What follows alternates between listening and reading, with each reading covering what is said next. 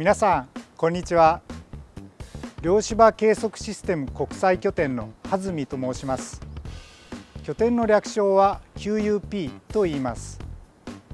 茨城県つくば市に高エネルギー加速器研究機構という国際的な研究機構があり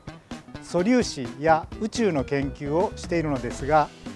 QUP はその中にできたばかりの新しい研究拠点です。皆さんは日々の生活で目で見たり耳で聞いたりという自分の体にあるセンサーのシステムで外の世界と交わっています。人間が作る全ての装置はセンサーのシステムを持っていると言っても過言ではありません。QUP はセンサーのシステムをとことん突き詰めて現代物理学の根本にある量子場まで立ち戻って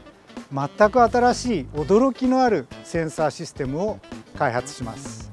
開発に成功して宇宙観測や素粒子実験における計測に革新をもたらしたいと拠点の研究者は皆意気込んでます。さらに新しいセンサーシステムは物理学にとどまらない広い分野への応用が期待できます。例えば新しいセンサーシステムで脳の活動を測ることによって人間の知的活動がどのように行われているのか謎を解き明かすための突破口を開くような研究です。さらに社会に役立てるための研究も進めていきます。そのためにトヨタ中央研究所の研究者も拠点に参加しますしトヨタグループとしてバックアップをしてくださることになっています。20世紀を代表する小説家の一人マルセル・プルーストのこのような言葉があります。